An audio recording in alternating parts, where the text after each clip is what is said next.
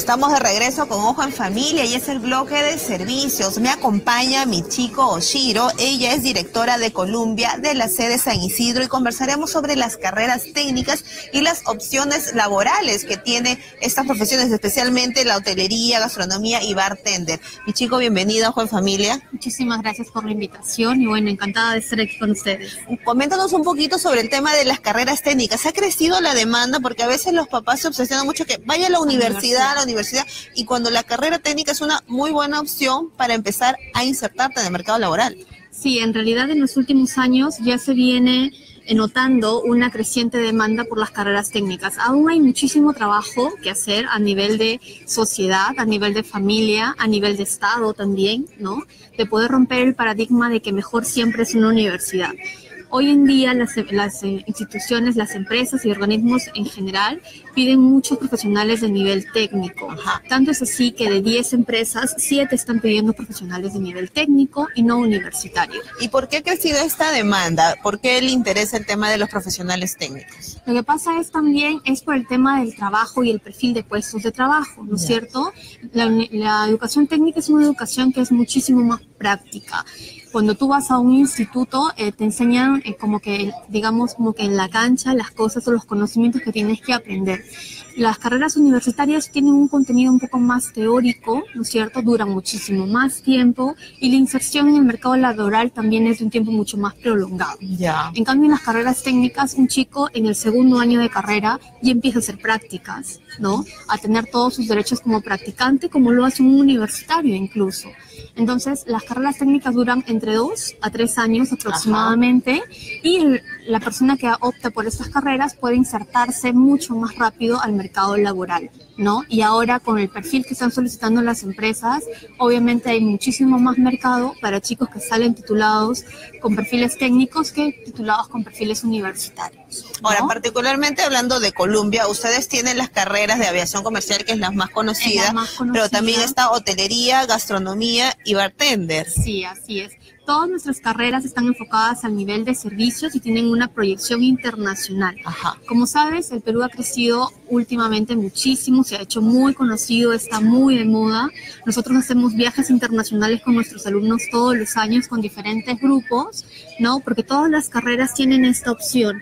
En la hotelería, sobre todo, los chicos tenemos egresados que van al extranjero, que trabajan en cadenas de hoteles internacionales, en Punta, en Punta Cana, en Estados Unidos, están en Hilton, ¿no? en cadenas españolas como el Meliá, en Punta Cana, en Resort, en República Dominicana, y lo mismo en las carreras de gastronomía. Entonces, nuestros alumnos tienen la opción, por ejemplo, de tener, de poder hacer prácticas, de ser becados en, en, restaurantes como estrellas Michelin, que son como que los top a nivel mundial, ¿no? Ajá. Un ex alumno ahora mismo que ha ganado el concurso de misturas está yendo a un restaurante en España que, ha- que tiene tres estrellas Michelin y muchos de nuestros egresados se encuentran fuera del país trabajando en, felizmente en, en cadenas de hoteles o cadenas de restaurantes muy reconocidas. Las, las caden- los programas y las carreras que tiene Columbia en realidad tienen una proyección bastante internacional, ¿no?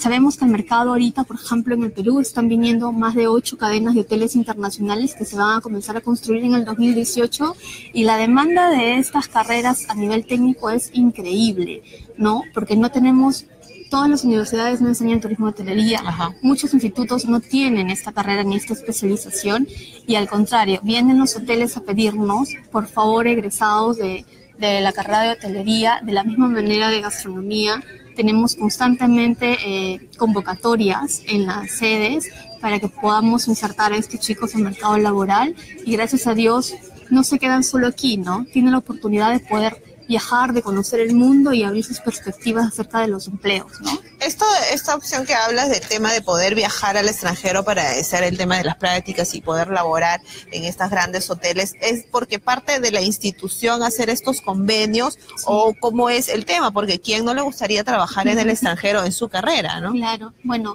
en realidad es un, eh, es un plus que tiene Colombia. Nosotros tenemos convenios con cadenas internacionales, Ajá. tanto en la parte de hotelería como en la parte de gastronomía y de aviación comercial. Los chicos mayormente siempre salen, ¿no? Al- casi los últimos ciclos de la carrera mayormente, y lo que sí nos está pasando mucho es que salen, regresan y solamente dar exámenes o completar cursos porque ya los contratan. Tenemos muchos chicos en el Caribe trabajando en resorts y también este, en restaurantes en Estados Unidos y Europa, ¿no? ¿Y cuál es el perfil del profesional? Porque a la gente le puede llamar mucho la atención trabajar en un resort, estar en el extranjero y la chamba es fuerte, ¿ah? no es cualquier lugar, o sea, y porque son alta demanda en turismo. ¿Cuál debe ser el perfil de profesional en este caso pues de la carrera de hotelería o de gastronomía? Bueno, todas las carreras que nosotros tenemos, en realidad el perfil tiene que ser una persona que le guste mucho y que demande mucho del servicio por los demás, ¿no?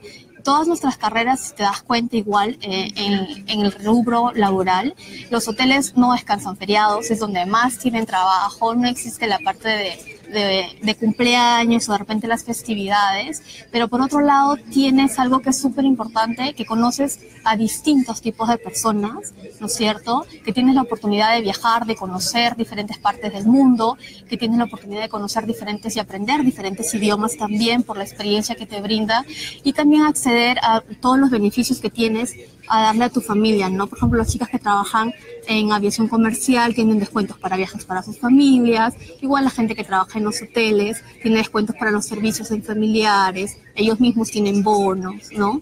Tienen la oportunidad de relacionarse con diferentes tipos de personas a todo nivel, ¿no? Pero sí es importante que tengan una actitud de servicio.